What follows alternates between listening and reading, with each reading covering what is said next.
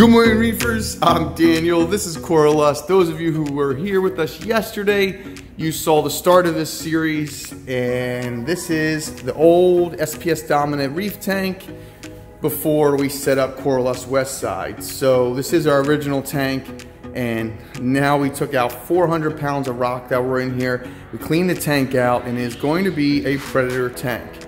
So we're putting in sand right now. We're cleaning it out and then we're gonna put some more rock back in and design it, but it's gonna be for all big fish and fun looking fish. So I've always wanted angels and with the reef tanks, it's hard to have the angels. So this time, I'm not really gonna put any corals in, and if I do, we'll just observe the angels and see what happens and see what they eat. So the tank's completely bare. Eric's over there cleaning out the sand.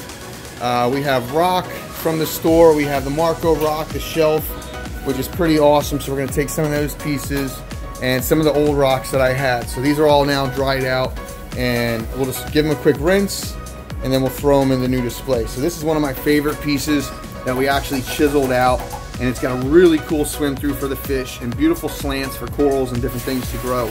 So, and then we have different shells. So we have plenty of pieces to choose from, but I don't want to overdo it. So I want to keep this tank really open so there's lots of room for the eels, for the lionfish, and the predators. So let me um, give you guys a quick little info of what sand we're using. Um, I didn't just want to go with the regular, the white crushed coral aragonite that I usually use. I did want to go with something a little bit more interesting and different.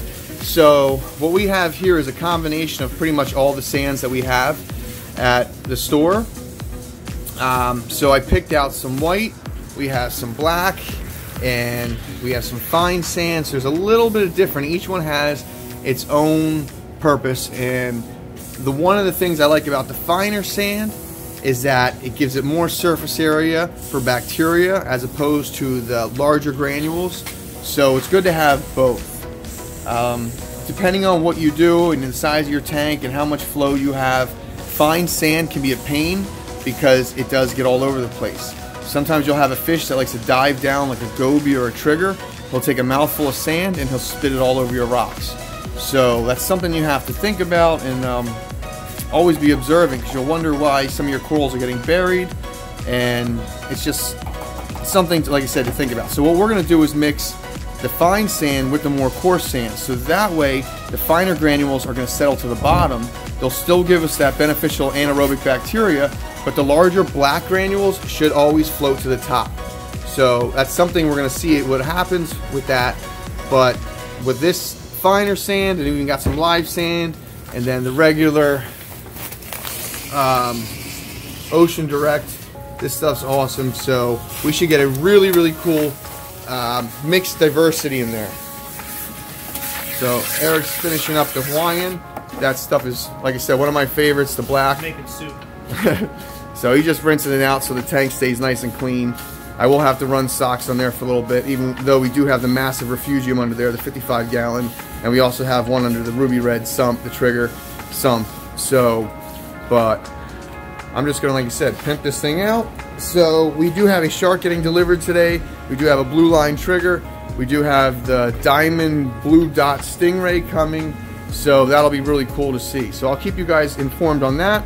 And then also something cool I wanted to show you. I do have some vinyl coverings. So for the overflow boxes, I'm gonna be selling some custom vinyl coverings. So if anybody's interested in one of those, if you have an exposed overflow box or something like that that gets kind of unsightly, let me know um, and I can sell you one of our custom vinyl coverings for those things.